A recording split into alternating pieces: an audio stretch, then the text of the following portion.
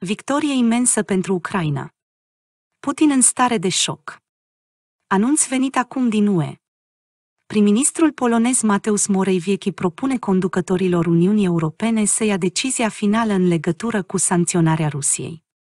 Premierul Poloniei a luat în calcul interdicția totală a comerțului rușii care atacă fără milă vecina României și a Poloniei premierul Poloniei a declarat că sancțiunile pot fi aplicate prin suspendarea transportului de mărfuri pe cale maritimă sau terestră astfel încât să-i dea de gândit lui Putin atunci când plănuiește noi ofensive către ucraineni, conform Reuters. Polonia propune adăugarea unei blocade comerciale la acest pachet de sancțiuni cât mai curând posibil, inclusiv în privința celor două porturi ale sale maritime, dar și interzicerea comerțului terestru.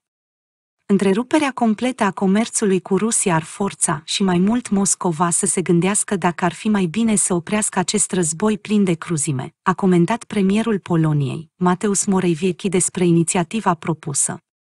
Totodată, începând de luni, la nivel european au fost discutate variantele care trebuie luate în considerare în privința alcătuirii unui al patrulea pachet de sancțiuni pentru ruși.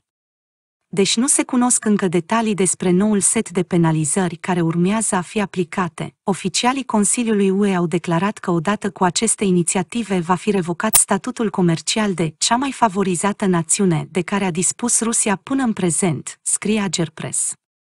Sancțiunile impuse de ruși Totodată Moscova ia în calcul, la rândul ei, sancționarea țărilor considerate neprietenoase conform spuselor lui Dmitri Sergivici Pescov, unul dintre secretarii președintelui rus, Vladimir Putin. În prima parte a lunii martie a fost semnată și aprobată o listă a acestor țări care urmează a fi sancționate de către guvernul rus. Pe această listă figurează mai multe state din SUA și UE, inclusiv România. Această hotărâre luată de oficialitățile Rusiei vine în urma alăturării țărilor membre la penalizările pe care conducerea Uniunii Europene le-a propus. Conform decretului inițiat odată cu aprobarea sancțiunilor, toate persoanele juridice sau non-juridice care au obligații valutare față de creditori străini din lista celor vizați vor putea face tranzacțiile în ruble.